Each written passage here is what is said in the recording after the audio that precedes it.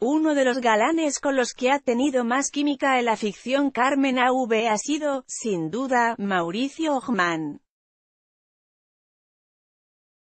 La pareja que formó la actriz mexicana con el galán de origen estadounidense durante varias temporadas de la exitosa superserie El Señor de los Cielos, Telemundo, cautivó por completo al televidente.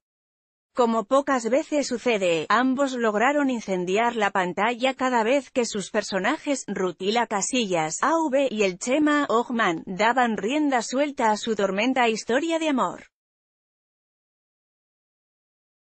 Precisamente la química que ambos tenían en escena fue uno de los motivos que hizo que la salida de Mauricio de la superserie el actor decidió renunciar a su personaje ya que, según explicó a través de sus redes sociales, le enojaba que este tipo de contenido estuviera al alcance de los niños generara gran tristeza en el público. Pero que ya no trabajen juntos no signifique que no se vean. Tras más de un año sin coincidir en un foro de grabación, los actores se reencontraron este miércoles durante un evento solidario en la Ciudad de México organizado por la Fundación Apadrina un trasplante. Qué honor poder ser parte de esta asociación donde donar amor es lo más importante. Corran la voz, donen, infórmense. Gracias por invitarme a ser parte de esta fundación tan importante y a partir de hoy me comprometo a poner mi granito de arena, expresó AV en sus redes sociales.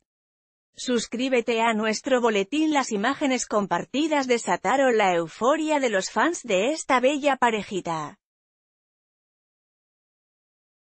Estás con tu primer amor, el Chema, lástima que salió de la serie, comentó una seguidora tras verla instantánea. Vi la foto y me emocioné tanto, para mí siempre será la mejor pareja de ficción, opinó otra. La renuncia de Ogman obligó a la cadena a buscar un reemplazo para el actor.